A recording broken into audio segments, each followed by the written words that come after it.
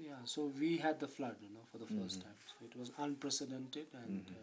How many people died? uh, uh, almost uh, 250 people died, uh, and we found them, Mhm. and uh, another 200 missing. Mhm.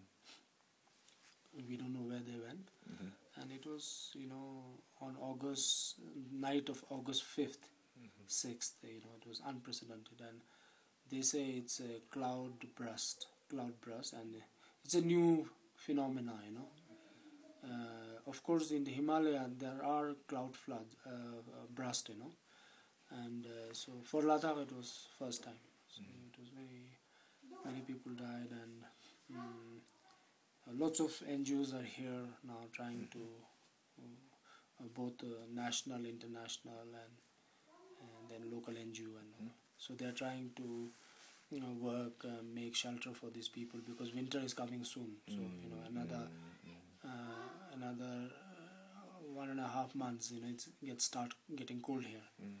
In Nov- November 15 onwards, then it's getting cold. So we don't know if there is a, a little bit of uh, bad weather, then snowfall, then winter s- sets in. You know, so so sh- they're going to build one room shelter. So yeah, some talks have been going on. So yeah, there's a NGO's uh, coordination committee, Mhm. and uh, I I went to attend some meetings, and then and um, yeah, so I got to know what's the government strategy, NGO strategy, and just to help the people. So yeah, so yeah, it was very unprecedented. Mhm. Okay.